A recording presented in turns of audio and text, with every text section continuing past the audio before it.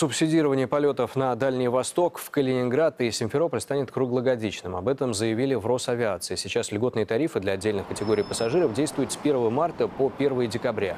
Программу, сообщили в ведомстве, расширят уже в этом году. В нее также могут включить многодетные семьи. Пока билеты субсидии могут покупать граждане до 23 лет, женщины старше 55 и мужчины старше 60, а также инвалиды и те, кто их сопровождает.